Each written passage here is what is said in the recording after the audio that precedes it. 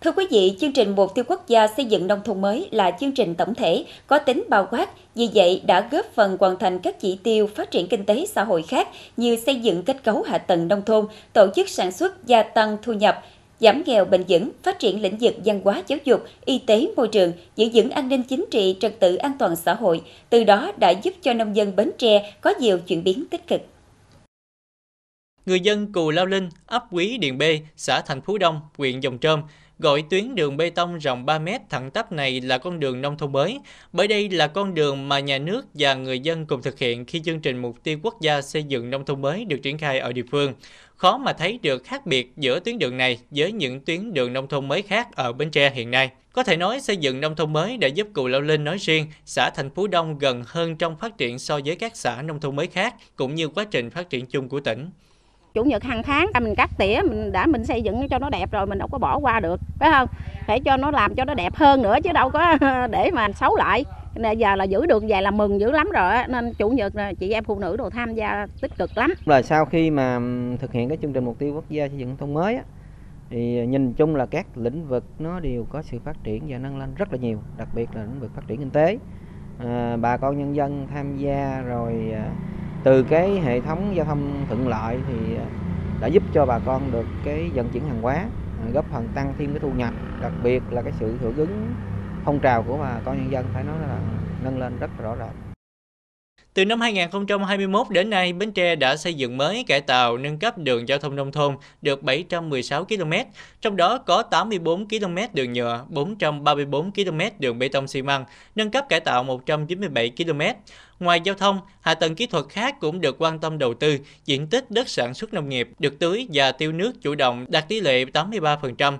Tỷ lệ hộ dân có điện sử dụng hiện tại là 99,95%, 26% trường mầm non đạt chuẩn quốc gia về cơ sở vật chất, cấp tiểu học đạt tỷ lệ 50%, cấp trung học cơ sở đạt tỷ lệ 61%, cấp trung học phổ thông đạt tỷ lệ 40%. Trung tâm văn hóa, thể thao và học tập cộng đồng xã, nhà văn hóa, khu thể thao ấp được xây dựng mới nâng cấp sửa chữa.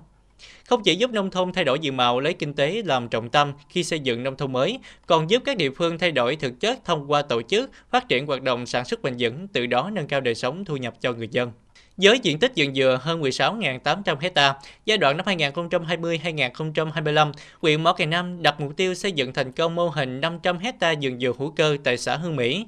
Hiện nay, địa phương đã xây dựng được vùng dừa hữu cơ diện tích hơn 600 hecta với hơn 800 hộ tham gia. Có hai cái phần lợi chính, trước nhất là về cái môi trường, không bị ảnh hưởng. Còn trước đây thí dụ như bón phân hóa học thì thời gian à, là đất nó bị chai cái đất thường người ta nói vậy. Còn mình bón phân hữu cơ thì nó tơi xốp đất hơn.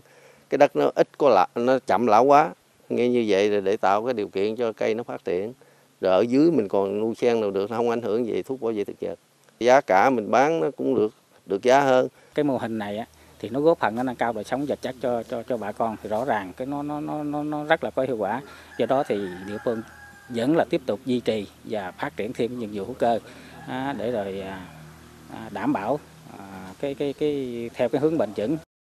Thực hiện nội dung thành phần số 3 trong xây dựng nông thôn mới là tiếp tục thực hiện có hiệu quả cơ cấu lại ngành nông nghiệp, phát triển kinh tế nông thôn. Bến Tre dần hình thành các vùng sản xuất hàng hóa tập trung các sản phẩm chủ lực của tỉnh gắn với chuỗi giá trị. Tỉnh có 146 hợp tác xã và một liên hiệp hợp tác xã nông nghiệp thuộc lĩnh vực nông nghiệp. Trong đó, từ năm 2021 đến nay, thành lập mới 22 hợp tác xã và một liên hiệp hợp tác xã thuộc lĩnh vực nông nghiệp. Tổng số thành viên hợp tác xã là hơn 34.700 người, vốn điều lệ 66 tỷ 829 triệu đồng. Số lao động thường xuyên của hợp tác xã khoảng 1.435 người, thu nhập bình quân của thành viên, người lao động khoảng 4 đến 5 triệu đồng trên người trên tháng. Số lượng tổ hợp tác hiện tại là 1.117 tổ với hơn 20.600 thành viên.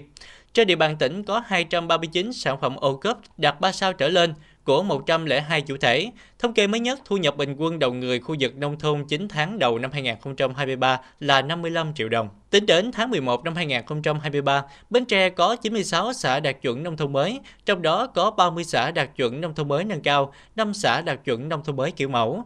Tỉnh đang quyết tâm sớm hoàn thành mục tiêu xây dựng nông thôn mới giai đoạn năm 2021-2025, góp phần thực hiện các mục tiêu phát triển kinh tế xã hội chung, cũng như chăm lo tốt hơn đời sống vật chất tinh thần của người dân vùng nông thôn.